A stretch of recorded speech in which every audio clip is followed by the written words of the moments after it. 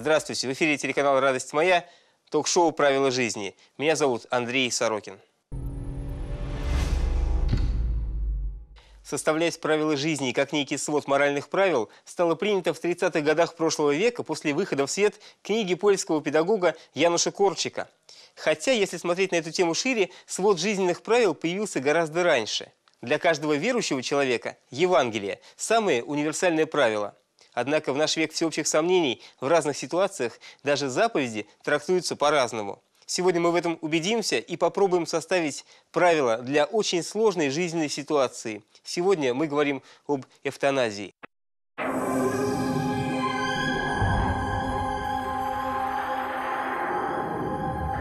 Уважаемые зрители, вы тоже можете выразить свое отношение к проблеме эвтаназии.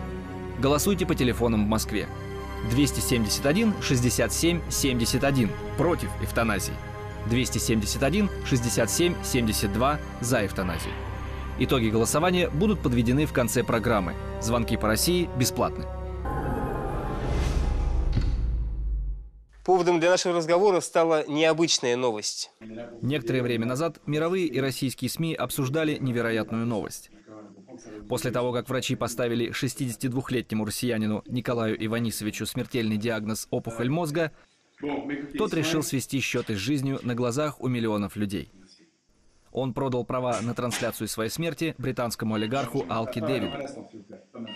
Вечером 29 июля в клинике Швейцарии врачи сделали Николаю Иванисовичу смертельную инъекцию – во время добровольного самоубийства в комнате присутствовали британский миллиардер Алки Дэвид, купивший права на прямую трансляцию смерти Иванисовича, и жена больного, наблюдавшая за тем, как ее муж уходит из жизни.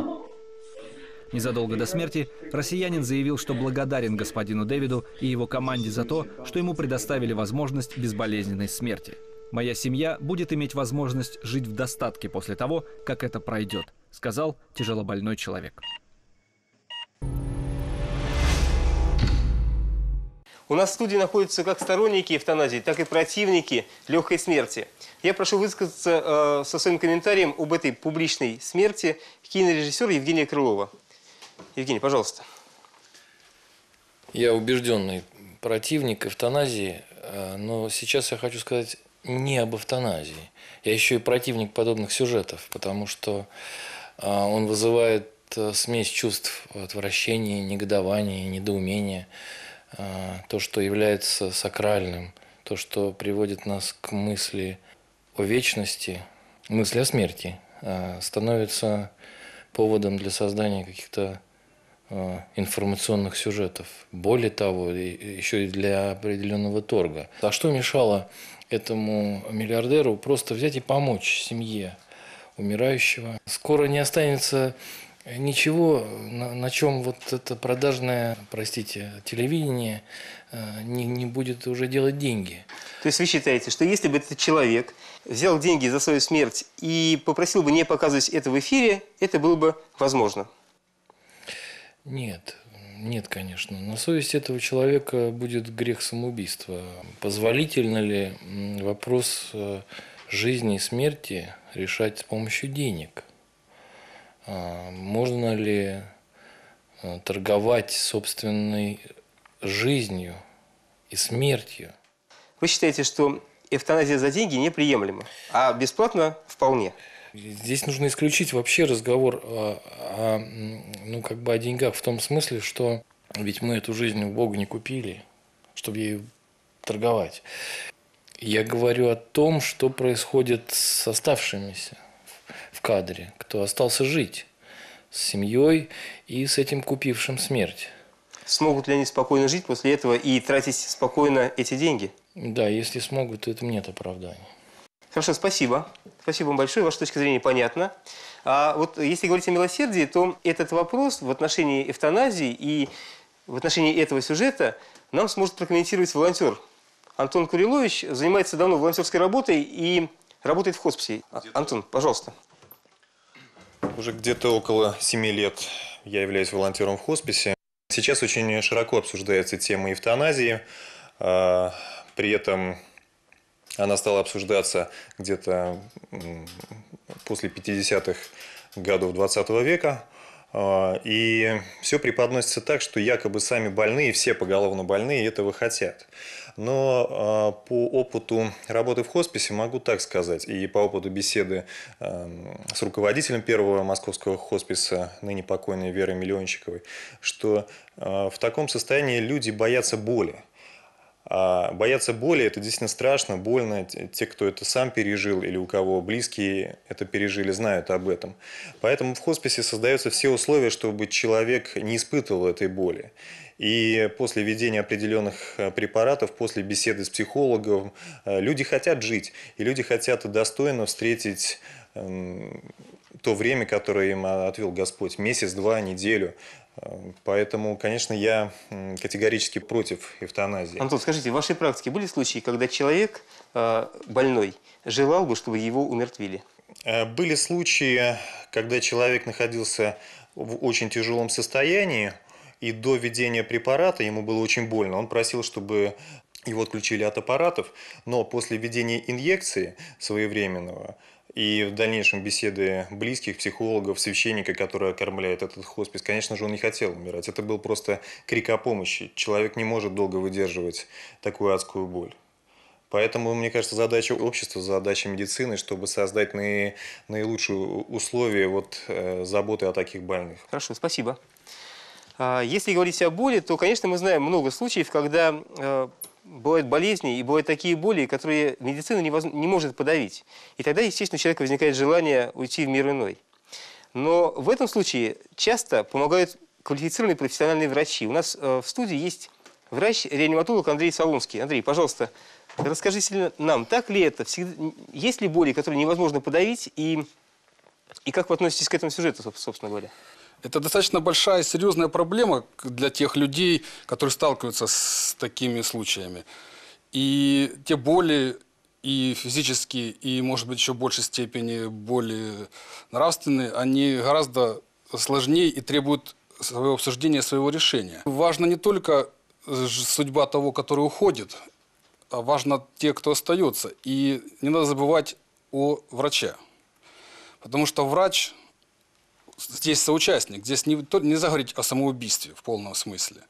Потому что ввел лекарство врач. А он мог ошибиться. Были случаи, когда вроде бы необъяснимые для науки, но человек вдруг начинал идти на выздоровление. И как потом себя будет чувствовать врач, если он ошибся? Пациент, который находится в в таком состоянии, даже еще не испытывая боль, когда он получает информацию о том, что он неизлечимо болен, это уже определенный стресс. Он, он попадает в жесткие, в жесткую депрессию. А тем более, если это сопровождается сильной болью. И в такой ситуации он не может принимать адекватных решений.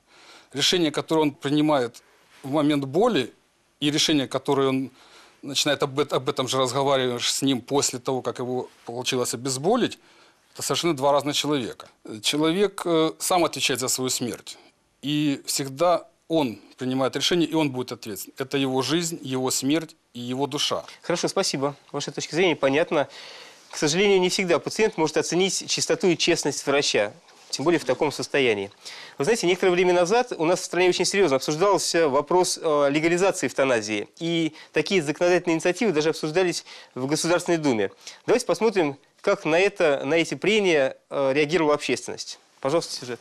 Она спешила на работу, а угодила под кирпич с крыши. Поначалу профессор Астахов решил, что поражение мозга необратимое. Но 140 дней спустя девушка начала реагировать на родных. Все это время они молили профессора только об одном. Вы дайте нам любого, дайте на аппарате, но чтобы он жил. Реаниматолог Арнольд Астахов верит в чудесное исцеление и не хочет решать, кому жить, а кому нет. В его отделении, где недавно выходили рядового Андрея Сычева, клятву Гиппократа помнит на зубок. Я никогда не дам никому просимого у меня смертельного средства и не покажу путей для подобного замысла. После 20 лет практики у операционного стола доктор Владимир Рыбин защитил докторскую по философии. Первая в России научная попытка осмысления феномена эвтаназии привела его к протеерею Челябинского храма. для нас является абсолютно недопустимым. Даже говорить об этом.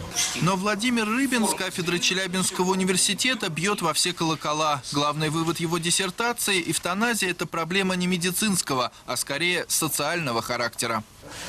Там, где эвтаназия вводится в практику медицины, там мы наблюдаем далеко зашедшие стадии антропологического кризиса. Кризиса культуры и проявления распада личности. Это обшарпанная трехэтажка – последний приют для тех, в чье выздоровление уже, кажется, просто никто не верит. В миллионном Челябинске всего один хоспис на 13 мест, и без очереди в него не попасть. Здешние врачи диагнозы своих пациентов изменить уже не в силах, но облегчить их страдания пытаются до самой последней минуты. Таким Паша был до аварии, а таким стал после своего черного вторника. Чего мы добились? Добились, что мы живем, добились того, что мы немножко двигаем руками, ногами, головой, но все это в ограниченных объемах. И хотя в мединститутах будущих врачей не учат уходу за безнадежно больными, проблем с милосердием в хосписе нет, а вот памперсы в дефиците. Три штуки в день по 24 рубля на каждого из 13 пациентов покупают всем миром. Эвтаназия – это неприемлемая штука. Если человека нормально обезболить, если человеку создать комфортные условия жизни, она не нужна. В Бельгии, говорят, в Голландии введена эвтаназия. Где они палачей-то берут? Это же врач должен делать. А, я не знаю. Нас всегда лечи, учили. Ж, жизнь больного – это превыше всего. По уголовному законодательству эвтаназия квалифицируется в рамках статьи 105, предусматривающей ответственность за убийство. В исследовании юриста Оксаны Капинус уникальная статистика. Почти 20% врачей признаются, в медицине и сейчас совершаются акты эвтаназии. Например, когда смерть наступает от сознательного бездействия медиков. А в случае легализации этого явления человека смогут подталкивать в мир иной и из корыстных соображений. Как видите, очень многие э, противники эвтаназии говорят о том, что если человеку создать нормальные условия и э, подобрать нормальные обезболивающие препараты, то можно обойтись без всякой эвтаназии. Но есть и противники, и сторонники этой идеи. Андрей Николаевич, пожалуйста. У вас есть э, личная история на это? Да, вот э, родственник мой лежит э, э, прикованный э, к постели уже э, без надежды на выздоровление у семьи нет средств поместить его в хоспис, у семьи нет э, средств на дорогостоящие медикаменты, которые бы снимали ему вот эти вот э, приступы боли. Представьте себе малогабаритную квартиру, это, так сказать, совершенно бездвижный человек, плюс маленькие дети, которые каждодневно это все видят, они, так сказать, э, там э, семья, трое детей, двое учатся в школе, одна девочка ходит в детский сад, все это происходит на глазах, так сказать, в нашей, так сказать, двушке обычной. В общем, э, не только человек не может умереть, но и те, которые живут вокруг него, не могут э, полноценно жить. То есть получается, что этот умирающий человек отнимает жизнь у будущего поколения. Вот. Поэтому э, вопрос этот неоднозначный. Я считаю, что вопрос в законодательном плане. Я скорее Э, за то, чтобы, так сказать, такой закон принять. И э, не знаю, кто это будет, так сказать, э, врачи, возможно, это не врачи, а какой-то другой институт, должны помочь человеку вот, прекратить эти страдания. Понятна ваша позиция, спасибо большое. А, к слову о врачах. Как относятся врачи к этому? Давайте узнаем у другого гостя нашей программы, медсестра Ксения. Ксения, пожалуйста. Э, расскажите нам, как вообще с точки зрения врачей, э, тех людей, с кем вы работаете ежедневно, как они относятся к этой проблеме? Ну, все врачи относятся по-разному. Как было видно из этого сюжета, вот есть врачи, которые вот, считают, что эвтаназия – это великое зло. Вот. Я считаю, что э, действительно не так это все однозначно, что есть случаи, в которых э, вот такая вот помощь э, при уходе из жизни человека, это благо, это добро, и это ну, милосердие, в конце концов, потому что а, когда сталкиваешься ежедневно со страданиями, с такими с тяжелыми больными, то и люди действительно просят об этом, о смерти, вот, о смерти как о подарке, они молятся. Очень часто, когда говорят об эвтаназии, то поднимают вопрос этический. Кто сделает ту самую смертельную инъекцию для человека, которая, может быть, облегчит ему страдания, но кто возьмет на себя вот эту работу? Есть среди ваших знакомых медицинских работников люди, которые готовы вот, работать в таком качестве? Да, конечно. Я думаю, что все равно это как-то происходит. Э, ну, как-то это негласно. Э, люди, ну, вот как медсестры, врачи, все равно это происходит вот по практике. Как так, в, жизни. таком случае быть с вопросами совести? Или этот вопрос э, не в области совести, совести и нравственных рассуждений? Э, Ну, вы знаете, вообще работа врача, э, ну, тут, не знаю, это сталкивается, ну, каждый, наверное, каждый день, каждый час вот с какими-то, с принятием решений.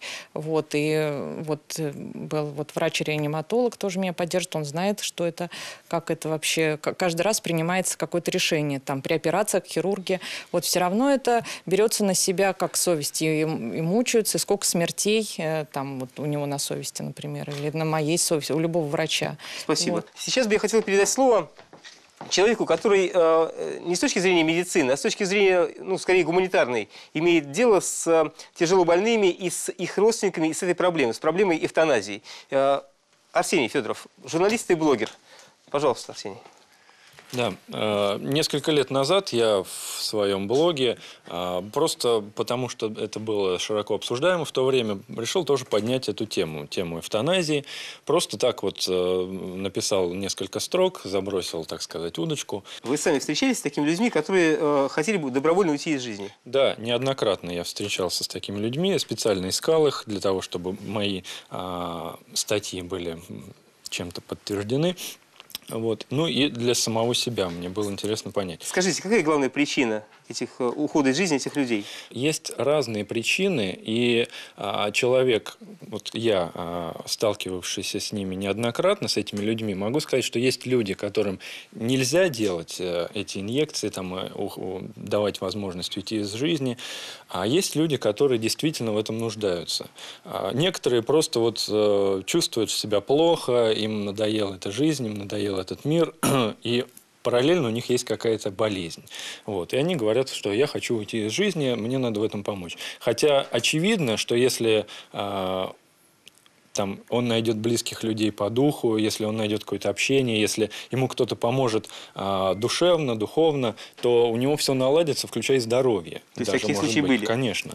Вот. Но есть э, и такие случаи, когда очевидно, что человек хочет жить, хотел бы продолжать жить, но для него это просто невозможно, невыносимо. А, Многие говорят о том, что если удалить страдания телесные, то человек станет хорошо, и он сможет жить дальше. Но ведь а, все знают, что страдания телесные даже в сравнении не иду- не идут с душевными, с духовными страданиями, которые испытывает человек, который а, лежит, э, понимает, что с ним происходит, видит, как страдают его близкие за счет того, что происходит с ним что им приходится видеть его страдания, ухаживать за ним, а, оставлять свою работу, тра- ну, как бы перечеркивать свою жизнь ради того, чтобы быть рядом с ним, а, и при этом он не получает ни радости от этого, ни, ни- ничего. Хорошо, спасибо. Ваша позиция понятна. Вы считаете, что эвтаназия, легализация эвтаназии допустима в тех э, случаях, когда невозможно, э, невозможно вытащить человека к нормальной жизни? Да. Через несколько секунд мы продолжим наш разговор. Уважаемые зрители, вы тоже можете выразить свое отношение к проблеме эвтаназии. Голосуйте по телефонам в Москве. 271 67 71 против эвтаназии. 271 67 72 за эвтаназию. Итоги голосования будут подведены в конце программы. Звонки по России бесплатны. Вы смотрите программу «Правила жизни» на телеканале «Радость моя». Сегодня мы говорим об эвтаназии. В нашей студии есть защитники и противники легализации легкой смерти. А, Шесть лет тому назад у меня от рака умирал отец. Вот в тот момент, когда он спустил последний э, вздох, я держал его на руках. И, э, ну, как все раковые больные, он, конечно, страдал от боли. Да, мы находились в условиях вот нашей медицины, то есть не, у нас не было обезболивающих препаратов. С другой стороны, я знаю случаи, э, когда верующие больные э, исцелялись э, непостижимым образом на серьезных стадиях онкологических заболеваний.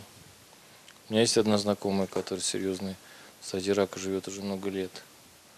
А, но она беспрерывно а, молится, причащается, исповедуется. Я вот не, хочу сказать, что это вот под силу всем и что это для всех совет, потому что все в разной степени а, религиозны.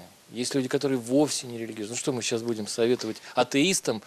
Э, молитесь, и вы исцелеете. Они будут опять над нами смеяться. Давайте уточним. Вот Андрей Николаевич, э, родственник больного человека. Андрей Николаевич, в вашей ситуации э, религия и вера является каким-то сдерживающим фактором? Да, конечно, разумеется.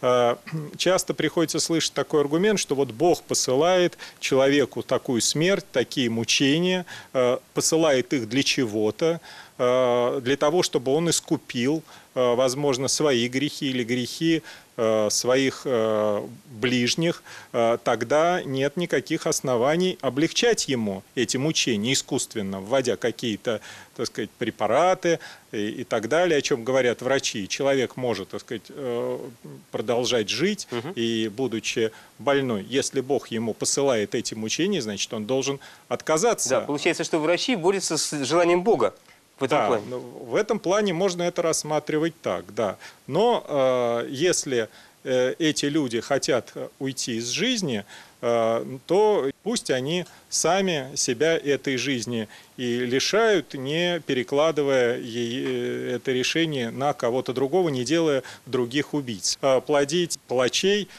тоже нет никакого смысла. То есть ваша позиция очень удобная. Хочешь, э, если у тебя, у тебя адские боли, если ты не можешь терпеть, пожалуйста, вот тебе шприц, вкали себе сам, чтобы никого не делать виноватым. Ну, э, в той или иной мере э, это, я считаю, человеку это, так сказать, должно быть предоставлено. В том случае, если он не в состоянии сам себе ввести инъекцию, то здесь встает вопрос, может ли кто-то сделать это за него. Это у нас в студии есть два медицинских да. работника. Давайте у них спросим прямо сейчас. Хорошо, да? Да. Ксения у нас есть, Андрей. Есть такие профессии, да, вот э, там родину защищать, да, есть э, воины, э, есть врачи, есть люди, которые действительно берут на себя какие-то обязательства. Вот. И, конечно, да, мы все давали клятву Гиппократа. Если человеку нужно в данном случае помощь именно в том, чтобы уйти из жизни, уйти безболезненно, уйти ну, вот так вот легко и облегчить, то ну, также врач может в данном случае взять на себя и вот этот груз, если хотите, да. Помочь человеку вот сделать этот шаг, если он сам это не может. Я слышал, что в некоторых современных медицинских вузах клятву Гиппократа уже не дают. Может быть, для того, чтобы врачи не мучились совестью? К примеру, один говорит, вот я потерял ногу, ну, например, футболист. И все, для него эта жизнь перестала существовать. Смысл. А парализованный, да он без одной ноги, ему только дайте жить. Да, конечно, у каждого человека свое желание. В том-то и дело, это все относительно. Подождите, секунду. Вот Евгений нам сказал, что человек обладает свободной волей. Господь дал человеку свободную волю. Волю на жизнь, получается, и волю на смерть. Да. Если человек обладает своей свободной волей, заявляет, я не хочу жить, можем ли мы препятствовать его свободной воле? Никто не может, если я решил уйти из жизни, то мне не может никто это запретить. Это твоя ответственность, твоя жизнь. Ты будешь отвечать перед своей совестью, перед своими родными, если верующий, перед Богом. Но ты за себя отвечай. То есть вопрос не в том, будем ли ему мешать, а будем ли мы ему помогать в этом. Любой нормальный человек, э, воспитанный в традиционной культуре, видя, что человек прыгает с, там, с балкона или с моста, попытается его остановить все-таки. С этим я согласен.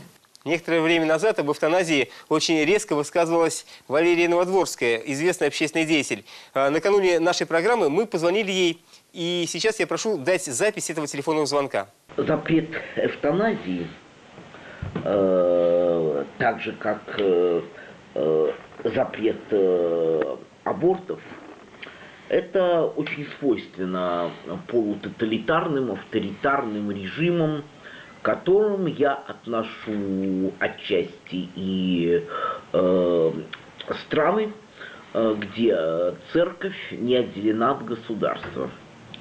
Э, Это нарушение принципа свободы воли. Э, Если человек не хочет больше жить, э, то если находятся врачи, способные оказать ему в этом содействие, то зачем же запрещать этот тет-а-тет? Жить или не жить вправе решать сам человек. Кстати, я не воспринимаю и христианский запрет на самоубийство. Э, Иисус, кстати, ничего подобного не говорил. И в некотором роде то, что он сделал в своем земном существовании, э, Голгофа, вот этот финал, это было э, хорошо, правильно организованное самоубийство. Он не мог не знать, чем все это закончится. Так что попытки сослаться на него э, при запрете э, самоубийств, это как-то несостоятельно. А ведь в Швейцарии это разрешено. И вот все съезжаются в этот тур, э, желающие охотники, и цивилизованно э, умирают при содействии врачей. Э, Швейцария получает дивиденды, но уж есть хоть довольно далеко. Э, Конечно, это нужно разрешить.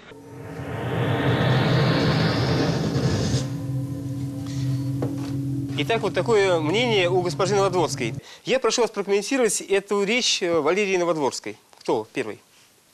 Евгений. Ну, я не богослов, хотя и для меня очевидно, что Валерия Ильинична, э, ну, она пламенный борец за демократию. Она э, будет выступать э, за превращение э, католичества в протестантизм, протестантизма там дальше еще во что-то.